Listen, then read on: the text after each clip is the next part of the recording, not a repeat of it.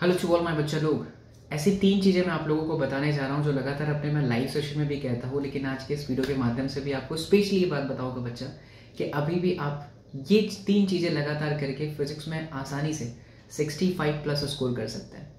अगर आप सिंपली पिछले 10 साल का सीबीएसई e का इतिहास उठा करके आप देखेंगे बच्चा तो क्वेश्चंस लगातार हर एक चैप्टर के आपको पता चल जाएँगे, क्योंकि पेपर जैसे ही आप देखोगे, आपको पता चल जाएगा कि करंट इलेक्ट्रिसिटी के ये क्वेश्चन है जो लगातार पूछे जा रहे हैं। हाँ थोड़े से पैटर्न अलग होंगे, लेकिन पूछते वही है। तो अगर आप तीन चीज़ें करो बच्चा, जो मैं अभी जस्ट बताने जा रहा हूँ प्लीज़ इसे नोट करो तो आप hundred percent sixty five plus marks लेकर के आओगे। नंबर वन दस साल का सीबीएसई e का क्वेश्चन पेपर आपको सॉल्व करना है।